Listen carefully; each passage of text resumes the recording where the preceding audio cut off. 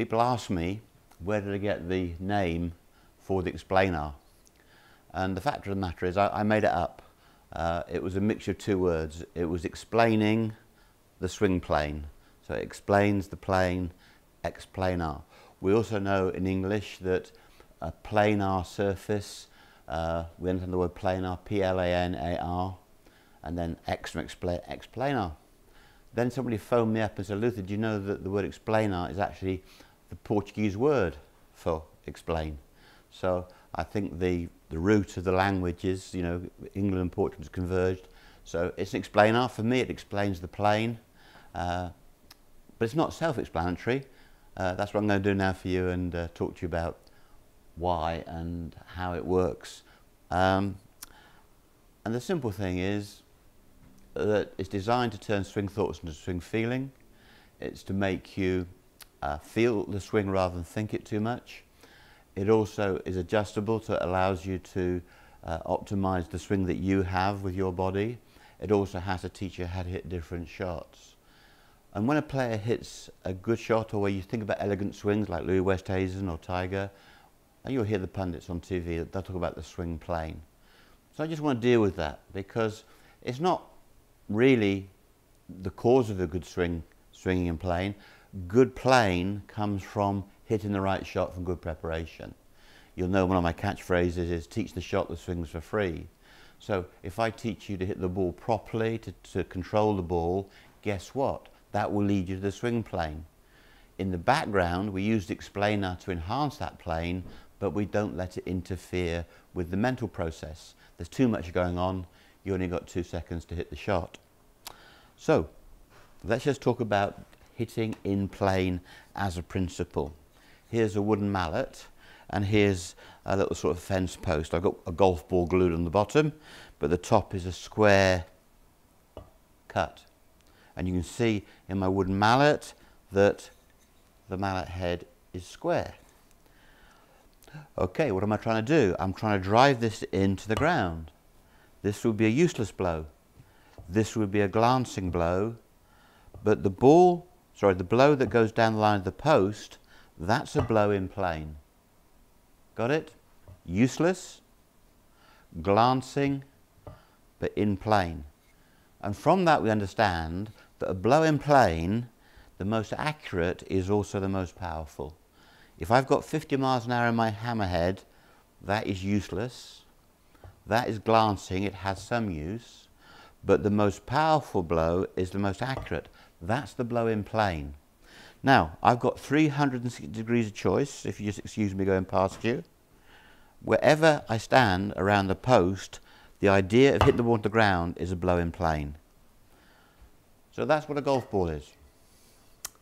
I've included the golf ball. The golf ball's a sphere, but the principle is the same. A blow in plane is the most powerful and the most accurate. This is useless to me. This is useless to me. But this is the optimum.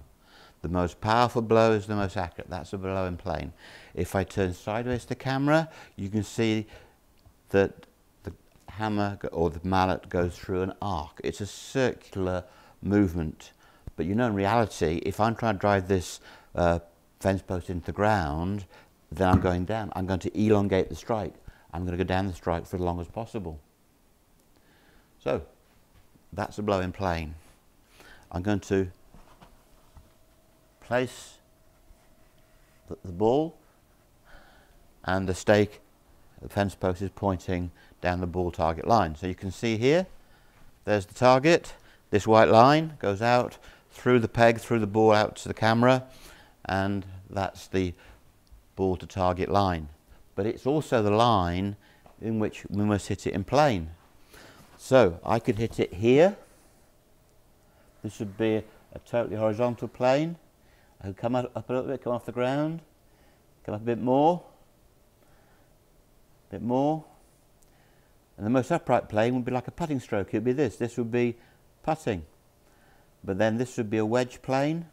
This would be a six-iron plane, driver plane, Ian Woosnam plane, right? Small, shorter people have a flat plane, taller people, okay? But the blow down the hammer, it doesn't matter what plane you're coming in from, from a putting plane to a driving plane, this strike is aligned to the post. And again, while the swing is on an inclined plane, the arc elongates and goes down the post for as long as possible. You've had those shots where it just superb strike and you feel the club face was on the ball for about a week. That's a blow that's in plane and probably out of the sweet spot. So, if I go back to the first principle, the most powerful blow is the most accurate. A glancing blow loses power, loses accuracy. What I've done on my mallet is I've actually sawn it off at a few degrees. So if you have poor club face alignment or if your grip is poor, it's like trying to hit a fence post when there's an angle on the, on the face. That gives me a glancing blow. The square, the square mallet head is great, but the one that's sawn off, you can see it would have a deflection. I can hit the sweet spot with the, the normal mallet, but I can only hit to one side of the sweet spot if the club face or the face of the mallet was shaved off. Now that's what you have, okay? When you hit the ball properly, no matter what loft from wedge to driver, you're in plane. But the moment the face corrupts, then you're deflected away from the plane. And people like Dustin Johnson, they essentially, that's what they're actually doing, but they're so talented, they actually can realign the face and get some sort of blow. I would say Dustin Johnson's case, it's cost him at least four majors. All right, let's take that to the golf course and I'll show you how it works with a six iron.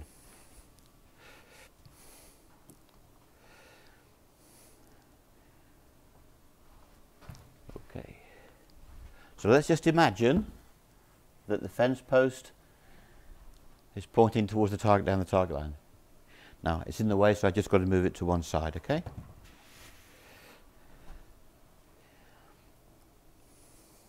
Take my stance. And I'm just make half a swing. Okay? That half a swing will send the ball forward. So, little half shot, a little bit of fade on it. What I would prefer is for that club head to come in and meet the ball. You hear that? And there it is, down that line. You're driving the post along the ground. So if I get that right on this occasion, then the ball should draw a little bit from right to left. So that was a slightly glancing blow. Hopefully on this shot,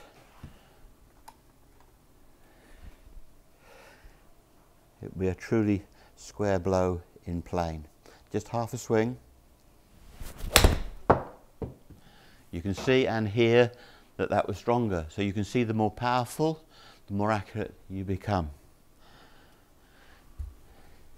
Doesn't matter what club you're using. You can be using a wedge up here. That's a blow in plane. A six iron here, it's a blow in plane. A driver back here is still a blow in plane. Doesn't matter whether you're using wedge or driver, the most accurate bow will still be the most powerful.